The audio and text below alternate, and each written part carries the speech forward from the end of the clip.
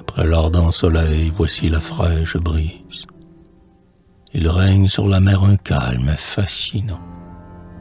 Et, debout sur la plage où la vague se brise, je regarde la nuit venir en s'inclinant. L'horizon s'est couvert de vapeurs incertaines. Cependant, sur les flots, je vois encore errer une voile mêlée aux étoiles lointaines, dont le tremblant rayon descend pour l'adorer.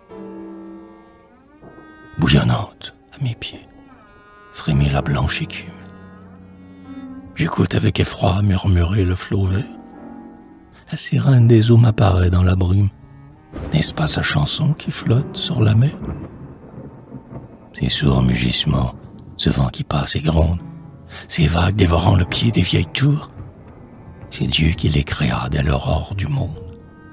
Il les fera durer jusqu'à la fin des jours.